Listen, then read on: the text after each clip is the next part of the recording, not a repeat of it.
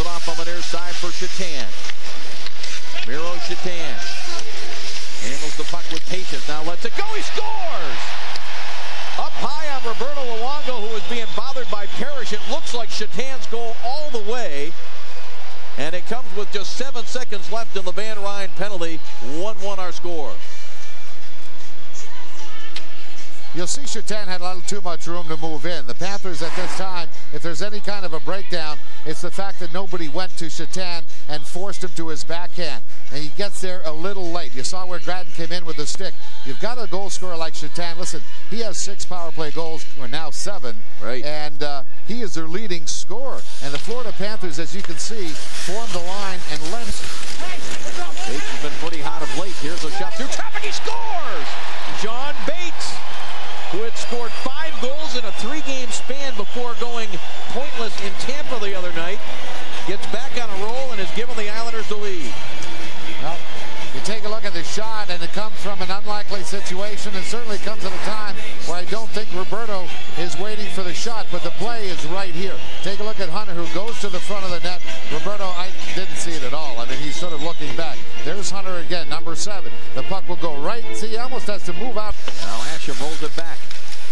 Yashin behind the net, wraparound was stopped by Luongo. Back to the line, held in a bouncing puck just in wide of the Panther net. Picked up, score! Kvasha with the long reach. And even from that angle was able to snap it by Roberto Luongo and the Islanders with a 3-1 lead. Well, a tough goal for the Florida Panthers, but again, you talk about how the game has changed and the new rules. This doesn't happen years ago. But watch, as the puck misses the net, it comes right back out, still in a position where somebody can get to it. If you have the net that is back 13 feet, that puck is buried back there. So what you've seen, in my opinion, is a great, uh, a great example of what more of those kind of plays. Here comes Blake cutting in, hands it across, they score! Bates able to knock it home. It is now a 4-1 lead for the New York Islanders. Well, the third period certainly has not been friendly to the Florida Panthers the last couple of games. And the Islanders, who have had such good success on this road trip, as we said, winning two, losing one, and a four-game road trip. This is the last game of the trip. They go back home after this for a couple of games. They have smelt the blood, and now they're just cooking. Heads up play by Jason Blake. Off win Islanders. Campoli, one-timer scores! Right up in the top corner. Whether that was deflected, we'll have to wait and see. Well, the Islanders have made it 5 to one.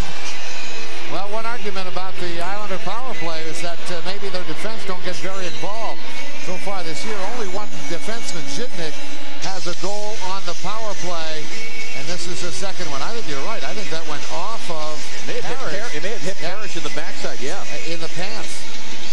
I think it hit Parrish right there. Yep, I think right there it hit. Mar Hagman a shot save, rebound, chance for Bouwmeester went over top of the net as Jokinen put in uh, on top of the goaltender DiPietro, but they separate quickly. And the Islanders will win three out of four on this road trip. And Panthers winless streak goes to 11. And our Nissan player of the game